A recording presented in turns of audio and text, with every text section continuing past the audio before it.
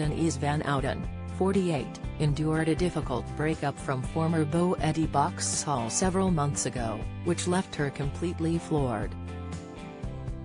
However, she's now back to living her best life in Dubai, and onlookers stared appreciatively as she strode down the beach in a pale blue swimsuit with her new property developer boyfriend, Jimmy Barba. The pair had been taking time out at the luxurious Grosvenor House Hotel, which overlooks Dubai Marina, as they relaxed on the nearby beach. The Emirati state has been popular with holidaymakers this Christmas, with extra excitement building after the announcement that Beyoncé will be performing a special one-off show in January, her first in four years.